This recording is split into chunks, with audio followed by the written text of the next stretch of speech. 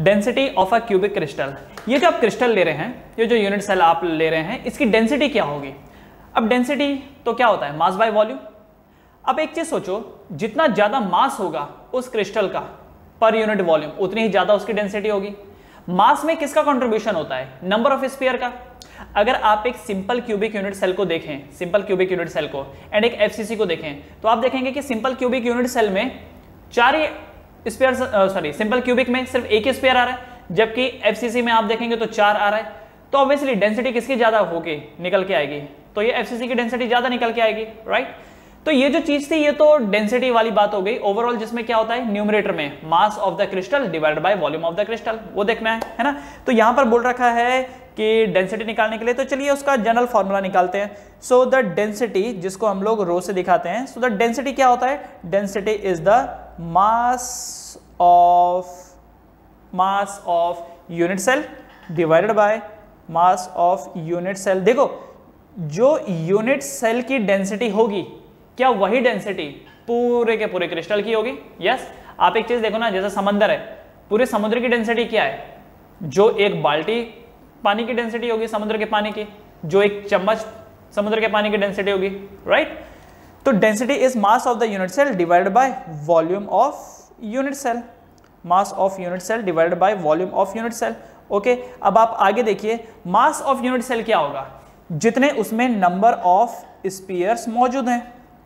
जिस, जितने उसमें नंबर ऑफ़ स्पीयर मौजूद है multiplied by multiplied by mass of each sphere mass of each sphere हर एक स्पीयर का मास कितना होगा? इनटू नंबर ऑफ़ स्पीयर भाई, एक स्पीयर होगा तो वन इंटू हर एक का मास लिख दो। दो होंगे तो टू इंटू हर एक का मास लिख दो right divided by this is volume of the unit cell this is the volume of unit cell okay तो इतना तो आपको समझ में आ गया होगा। डेंसिटी होता है mass of unit cell by volume of unit cell mass कैसे निकलेगा?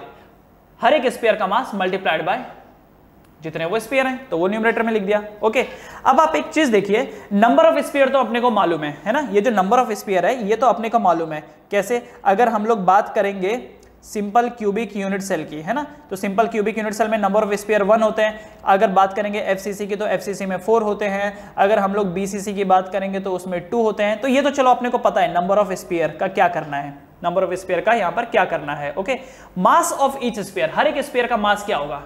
हर एक स्पेयर का मास क्या होगा? तो जरा इसके लिए यहाँ पर ध्यान दीजिए, क्या जब आप किसी भी सब्सटेंस का एक मोल उठाते हैं तो एक मोल में, एक मोल का जो वज़न होता है, क्या वही उसका मोलार मास होता है? है ना? एक मोल का जो वज़न होता है, वही उसका मोलार मास होता है करेक्ट एक मोल का जो वज़न होता है, क्या वही मोलार मास होता है? अच्छा मोलार मास को मैं कैपिटल एम से दिखा रहा हूँ। मोलार मास क्या होता है? एक मोल ऑफ़ पार्टिकल्स का वज़न। अब उस पार्टिकल में एटम हो सकता है मॉलिक्यूल हो सकता है आइन हो सकता है, कुछ भी हो सकता है ना? तो एक मोल का वज़न किसके बराबर होता है? मोलार मास के बराबर होता है। अच्छा एक मोल में कितने पार्टिकल होंगे? 6.022 point zero two two into ten to the power twenty एक मोल में 6.022 point zero two two into ten to the power twenty particles अच्छा यहाँ पर क्योंकि हम स्पीयर बोल रहे हैं तो मैं लिख देता हूँ स्पीयर है ना? तो 6.022 point zero two two into ten to the power twenty three sphere equal to molar mass अच्छा मोलर मास को मैं एम से डिनोट करता हूँ. And by the way molar mass grams में होता है. ये आपको पता होगा मोलर मास ग्राम में होता है. क्योंकि अगर आपने एएमयू लिख दिया तो वो या तो एटॉमिक मास होगा या फिर मॉलिक्यूलर मास फ़र्क है. Atomic mass molecular mass AMU में होता है, जबकि मोलार मास ग्राम्स में होता है. क्योंकि मोलार मास वन मोल का वज़न है. देखा जाए तो दोनों का मैग्नीट्यूड सेम है. जैसे ऑक्सीजन ऑक्सीजन का मॉलिक्यूलर मास जो है वो होता है 16 सॉरी अगर एटॉमिक फॉर्म में, अगर ऑक्सीजन एटॉमिक फॉर्म में है तो उसका एटॉमिक मास होगा 16 एएमयू और अगर मॉलिक्यूलर फॉर्म में दैट मीन्स O2 है तो उसका वज़न होगा 32 एएमयू तो जो भी हो एटॉमिक मास हो मॉलिक्यूलर मास हो एएमयू में होता है। लेकिन अगर वही एक मोल का वज़न निकालेंगे, एक मोल का वज़न तो वो कहलाएगा मोलार मास तो अगर एक मोल ऑफ़ सिर्फ़ ऑक्सीजन का निकालेंगे तो 16 एएमयू हटा के उसकी जगह क्या डाल देंगे? ग्राम। तो 16 ग्राम। और अगर O2 लेंगे तो ये भी मोलार मास है O2 का। कितना हो जाएगा? 32 ग्राम। करेक्ट तो 6.022 point zero two two into ten to the power twenty sphere का वज़न इज़ एम ग्राम। तो इसका मतलब एक स्पीयर का वज़न कितना होगा? एक स्पीयर का वज़न होगा M divided by six point zero two two into ten to the power twenty three अच्छा क्या होता है ना कि इसी को हम लोग, ये जो six point zero two two into ten to the power twenty three है ना, इतना लंबा कौन लिखेगा तो इसको हम लोग NA लिख देते हैं। NA का मतलब क्या हो गया? Avogadro number what is N N is Avogadro number ये जो NA है, ये एवागेड्रो नंबर है है ना? एवेगेड्रो नंबर सी ये जो कैलकुलेशन किया ना, ये कुछ ऐसा खास नहीं है। सीधी सी बात है, एक मोल का वज़न मोलार मास के बराबर होता है। तो एक पार्टिकल का वज़न कितना होगा? Molar mass divided by 6.022 point zero two two into ten to the power twenty तो ये हर एक स्पेयर का वज़न आ गया। बस, अब इसी चीज़ को हम लोग, ये जो स्पेयर का वज़न है, इसको हम लोग यहाँ पे डाल देंगे, ठीक है? ये जो हमने निकाला ना, एक स्पेयर का वज़न, इस एक स्पेयर के वज़न को हम लोग इधर पे डाल देंगे। तो जरा नोट करना फॉर्मूला क्या बन जाएगा? तो फॉर्मूला बन जाएगा density equal to number of sphere number of sphere को हम लोग जेड से डिनोट करते हैं, ठीक है? ये जो नंबर ऑफ़ स्पेयर है, इसको हम लोग जेड से डिनोट करते हैं। This is denoted by z. Okay चाहिए तो मैं यहाँ पर लिख देता हूँ, इसको हटा करके थोड़ा सा और एड अप कर देता हूँ। नंबर ऑफ़ स्पेयर को हम लोग z से डिनोट करते हैं okay all right into mass of each sphere mass of each sphere तो देखिए, ये जो z है, z तो हमने लिख दिया। गलती से भी ये मत समझ लेना कि z इज़ एटॉमिक नंबर यहाँ पर z एटॉमिक नंबर नहीं है। इससे पहले जब भी आपने सॉल्व किया तो Z सिंबल बनाए रखा एटॉमिक नंबर के लिए। Z is the atomic number right यहाँ पर Z एटॉमिक नंबर नहीं है। यहाँ पर Z एटॉमिक नंबर नहीं है। यहाँ पर Z ये बता रहा ये बताता है कि उस यूनिट सेल के अंदर कितने स्पीयर हैं। तो एफसीसी होगा तो फोर बीसीसी होगा तो टू सिंपल क्यूबिक होगा तो वन करेक्ट ओके तो ये Z हो गया। Into mass of each sphere हर एक स्पीयर का मास कितना है? तो वो ये देखो, ये हमने निकाला है, हर एक स्पीयर का मास कितना? कितना? M by N A M divided by N A okay divided by volume of unit cell तो यूनिट सेल का वॉल्यूम क्या होगा? ए क्यू बस। तो ये जो बन के आया this is the density of unit cell this is the density of unit cell ये यूनिट सेल की डेंसिटी है। किस किस के क्या मतलब होते हैं? तो मैं इसको साइड में लिख देता हूँ। तो यहाँ पर ये जो z है, z रिप्रेजेंट कर रहा है number of sphere in unit cell number of sphere in unit cell इसको ये मत समझ लेना। कि एटॉमिक नंबर है. This is number of sphere in unit cell दूसरा एम जो है, वो मोलार मास है. एम जो है, वो मोलार मास है. अब कई बार क्वेश्चन देने वाला इसको मोलार मास ना बोल करके मॉलिक्यूलर मास बोल देता है या एटॉमिक मास बोल देता है. तो घबराने की ज़रूरत नहीं है बिकॉज़ जो मैग्नीट्यूड है, वो तो सेम ही रहता है. जैसे मैं बोलता हूँ ऑक्सीजन का O2 का लेट से O2 O2 का मॉलिक्यूलर मास इज़ 32 AMU और वही चीज़ जब मोलार मास बन जाएगी तो वो 32 ग्राम्स होगी। तो 32 तो दोनों में ही है ना? तो घबराने की ज़रूरत नहीं है। अगर क्वेश्चन देने वाले ने मोलार मास दिया है, कोई बात नहीं। मॉलिकुलर मास दिया है, कोई बात नहीं। एटॉमिक मास दिया है, कोई बात नहीं। क्योंकि अल्टीमेटली जो उनका मैग्नीट्यूड है, वो तो सेम ही होना है। क्या एटॉमिक मास और मॉलिकुलर मास सेम होता है? See the thing is atomic mass होगा उसमें जितने कंपोनेंट है, उसके साथ मल्टीप्लाई कर दो तो मॉलिकुलर मास आ जाएगा। जैसे ऑक्सीजन ऑक्सीजन का एटॉमिक मास होता है 16 अब अगर O2 है तो 16 को दो से मल्टीप्लाई कर दो तो मॉलिकुलर मास आ गया। तो ये भी कोई टेंशन वाली बात नहीं है। तो M represent molar mass A represent करता है length of length of unit cell and N जो है, वो तो फिक्स है भाई। एन तो एवागेड्रो नंबर है। N is Avogadro number N is Avogadro number correct so this is the density of a cubic crystal ये है density of cubic crystal z into M divided by A cube into N A तो चलो अभी इसके ऊपर एक question solve कर लिया जाए. Let solve question on this तो इसको उतार लीजिएगा, इसको कॉपी कर लीजिएगा. क्वेश्चन सॉल्व करते हैं. तो क्वेश्चन है यहाँ पर. देखिए atom X is in FCC ये जो एटम एक्स है, ये किसमें है एफसीसी में है. एटम एक्स जो है दिस इज़ इन एफसीसी तो चलिए, मैंने लिख दिया एटम एक्स एफ़ में है ओके अगर एटम एक्स एफ़ में है तो मुझे बताइए, क्या यहाँ से आप ये बोल सकते हैं कि जेड का वैल्यू फोर है? क्या यहाँ से आप जेड का वैल्यू फोर निकाल सकते हैं? यस तो एक चीज़ हमको मिल गई। दूसरा चीज़ एटॉमिक मास बता रखा है 80 एमयू अब जैसे कि मैंने आपको बोला, डरने की ज़रूरत नहीं है, जो गिवन है, लिख लो। तो यहाँ से यहाँ से आपको जो m का वैल्यू निकल के मिलेगा, वो मिलेगा 80 पर क्योंकि ये मोलार मास है तो इसको किसमें लिखना है? ग्राम्स में। किसमें लिखोगे आप? ग्राम्स में। दिया एएमयू में, पर मैग्नेट्यूड तो वही रहेगा ना 80 एएमयू को 80 ग्राम कर दो तो मोलार मास हो गया उसका। तो मोलार मास भी चलो निकल गया। उसके बाद, अगली चीज़ the radius of atom is अब एटम का जो रेडियस है एटम का जो रेडियस है, कितना है? 141 पिकोमीटर एटम का जो रेडियस है 141 पिकोमीटर है? फाइंड द डेंसिटी चलो भैया डेंसिटी देख लेते हैं। तो डेंसिटी का फॉर्मूला क्या होता है? तो density is z into M divide by A cube into N A correct यही होता है? Density equal to Z into M divide by A cube into N A बस जो जो पता है फॉर्मूला डाल देते हैं। तो चलो डाल देंगे फॉर्मूले में। तो density is equal to density is equal to Z कितना है? फोर मोलर मास कितना? 40 डिवाइडेड बाय ए क्यूब क्या है? अब यहाँ पर। हो अब यहाँ पर आ गया ए क्यूब। दिया हुआ क्या था? दिया हुआ तो आर है, ये देखो। दिया हुआ तो रेडियस है। दिया हुआ तो रेडियस है। लेकिन यहाँ पर डालना क्या है? ए डालना है। तो क्या आपको पता है ए और आर का संबंध क्या है? क्या आप जानते हैं ए और आर का संबंध क्या है? और ये जो संबंध है, ये एफसीसी के हिसाब से निकालना है। ये जो संबंध है, ये एफसीसी के हिसाब से निकालना है। लेट मी टेल यू थोड़े टाइम पहले आपने जो सिंपल क्यूबिक यूनिट सेल पढ़ा था, है ना? Simple cubic unit cell right तो सिंपल क्यूबिक यूनिट सेल में आपने क्या पढ़ा था? ठीक है? सिंपल क्यूबिक क्या पढ़ा था? कि a equal to two R के बराबर, याद है? एफ़ सी सी में आपने क्या पढ़ा था? Root two A equal to four R ध्यान होगा। बीसीसी में क्या पढ़ा था? Root three A equal to four R कुछ कुछ याद आया? उस वक्त भी मैंने आपको ये बोला था कि ये चीज़ बहुत इंपॉर्टेंट है, इसको याद रखना।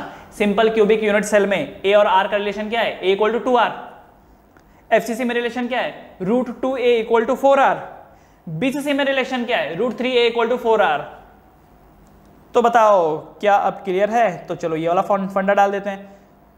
तो root two A equal to four R root two A equal to four R इसका मतलब a equal to two root two R A equal to two root two R तो ये जो a क्यूब है ना, ये जो a क्यूब है, चलो एक काम करते हैं फर्दर ये डाल देते हैं, a equal to two root two into R की वैल्यू कितनी आ जाएगी? 141 पिकोमीटर पिको कितना होता है? 10 to the power minus twelve metre तो ये ए का वैल्यू आ गया, है ना? ये ए का वैल्यू आ गया और इसका होल क्यूब तो लीजिए तो ये बन गया two root two into one forty one into ten to the power minus twelve and इसका क्यूब हो गया into Avogadro number six point zero two two into ten to the power twenty three into ten to the power twenty three right तो ये value आपने फीडअप कर दी। अब आपको क्या करना है? इसको सॉल्व कर लेना है है ना? इसको क्या करना है? सॉल्व कर लेना है, ठीक है? तो कर लेंगे इसको सॉल्व अच्छा ये तो एक चीज़ हो गई। इसको सॉल्व करने का एक आसान तरीका और बताता हूँ मैं। एक और आसान तरीका है। ये देखिए, ये जो मैंने लिखा ना root two A equal to four R तो आप एक काम करो A equal to four by root two R कर लो। उस हिसाब से देखो A equal to four by root two कितना होता है? वन पॉइंट फोर वन होता है है ना? कितना होता है? वन पॉइंट फोर वन होता है। इंटू आर की वैल्यू कितनी है? One forty one P M तो क्या ये कट सकता है? वन पॉइंट फोर वन से ये जब कटेगा तो कितने टाइम्स कटेगा? हंड्रेड टाइम्स तो इसका मतलब ए का वैल्यू कितना निकल के आया? 400 पिकोमीटर। ए का वैल्यू कितना निकल के आया? 400 पिकोमीटर। तो ये जो आपने किया ना, आप चाहो तो ऐसे भी कर सकते थे। Density 4 into forty divided by 400 picometre. तो ये लो ए का वैल्यू 400 पिकोमीटर मतलब 10 to the power minus twelve और इसका बन गया whole cube into six point zero two two into ten to the power twenty three तो इसको ऐसे भी किया जा सकता है। ठीक है? बाकी जो कंटिन्यू करने का काम है, वो आपका है। You have to do it right तो इससे क्या निकल के आ जाएगा? Density what you will find is density अच्छा डेंसिटी की यूनिट क्या होती है? तो चेक करना कि न्यूमरेटर किसमें है। चेक करना न्यूमरेटर किसमें है? किसमें न्यूमरेटर ग्राम में है है ना? और डिनोमिनेटर किसमें है? ऑब्वियसली मीटर क्यूब में है। तो ग्राम पर मीटर क्यूब तो जो उसकी डेंसिटी आएगी, वो ग्राम पर मीटर क्यूब में आएगी। क्लियर है? क्लियर है ना ये चीज़? यस ओके तो इस तरीके से इस क्रिस्टल की डेंसिटी निकल के आ गई। एक और क्वेश्चन जैसा देख लेते हैं। टेक वन मोर क्वेश्चन इसको उतार लीजिएगा और फर्दर सॉल्व करना है इसको। अगला question sodium exist in BCC okay sodium जो है वो बीसीसी में एग्जिस्ट करता है। ठीक है भाई? तो बीसीसी में एग्जिस्ट करता है। इसका मतलब जेड कितना रहा होगा? टू रहा होगा। ओके मिल गया अपने को एक चीज़। रेडियस दिया हुआ है। रेडियस इज़ 173 पीएम ओके दूसरा मास कितना रहा होगा? मोलार मास सोडियम का। तो सोडियम का अपने को पता है? 23 होता है। क्या? ग्राम क्योंकि मैं मोलार मास बोल रहा हूँ तो सोडियम का कितना होता है? 23 तो देखो, ये जो अनकॉमन वाली चीज़ें हैं, वो उसका मोलर मास आपको दे दिया जाएगा। लेकिन ये जो छोटे मोटे हैं, इनका आपको याद रखना होगा। जैसे सोडियम सोडियम का 23 होता है, ये अपने को याद है। कितनी बार कर चुके हम लोग राइट तो हो सकता है वो ना दिया हो। जो हैवी हैवी वाले होंगे, उनका दे सकते हैं वो लोग। बाकी जो इजी इजी वाले हैं, उनको तो अपने को याद करना पड़ेगा, है ना? तो देखो एम का वैल्यू पता है जेड का वैल्यू पता है ए का वैल्यू क्या आप ए का वैल्यू यहाँ निकाल सकते हैं? क्योंकि जो डेंसिटी का फॉर्मूला होता है Z into molar mass divided by A cube into N A तो चलो जेड है हमारे पास yes so Z is two molar mass 23 divided by A cube अच्छा तो ए क्यूब कैसे निकालेंगे? तो क्योंकि ये BCC है तो BCC में रिलेशन क्या था? Root three A equal to four R तो इसका मतलब a equal to four by root three R तो चलो वैल्यू डाल देते हैं तो वैल्यू डालें तो देखो वैल्यू जब डालेंगे तो a equal to four by root three R की जगह पर कितना? 173 पीएम 173 पीएम अच्छा एक चीज़ जानते हो कि ये जो रूट थ्री होता है ना देखो जरा, ये जो रूट थ्री होता है दिस रूट थ्री इज़ 1.73 आप जानते हैं बात को? कि जो रूट थ्री होता है, ये 1.73 होता है। रूट थ्री की वैल्यू 1.73 होती है। तो 1.73 से जब ये कटेगा तो कितने टाइम्स कटेगा? 100 टाइम्स तो उस हिसाब से ए का वैल्यू जो निकल के आएगा, वो 400 पीएम निकल के आएगा। है ना? पीएम तो देखो, ये जो ए है ए इज़ 400 पीएम तो 400 hundred into ten to the power minus twelve metre metre में आएगा और ये हो गया whole cube into Avogadro number कितना? 6.022 point zero two two into ten to the power 23 बस न्यूमिनेटर जो है वो ग्राम में है एंड डिनोमिनेटर मीटर क्यूब में है। बस, बात खत्म। अच्छा मीटर क्यूब मैंने ऑलरेडी लिखा हुआ है तो दोबारा नहीं लिखूँगा मैं यहाँ पर। तो इसको सॉल्व कर लीजिएगा और जो भी आंसर होता है उसको कैलकुलेट कर लीजिएगा। ठीक है? उसको कैलकुलेट कर लीजिएगा। ओके क्लियर है ये चीज़? क्लियर है? अंडरस्टूड अंडरस्टूड तो क्या है? सोडियम बीसीसी में था तो जेड की वैल्यू टू थी। मॉलिकुलर मास जो है इसका, या मोलर मास 23 है। आर की वैल्यू क्या होगी? तो वो तो दी हुई है 173 पीएम पर हमको तो ए चाहिए ना, क्योंकि फॉर्मूले में तो ए है। तो बीसीसी में ए का और आर का क्या रिलेशन होता है? Root three A equal to four R इसको याद कर लो। सिंपल क्यूबिक यूनिट सेल में A equal to two R face centred में root two A equal to four R, BCC में root three A equal to four R. बस, उसी से हम लोग ए निकाल लेंगे और ए की वैल्यू को यहाँ पुट कर देंगे। तो A cube into Avogadro number and now solve it और सॉल्व करने के बाद आपको मिल जाएगी उस क्रिस्टल की डेंसिटी।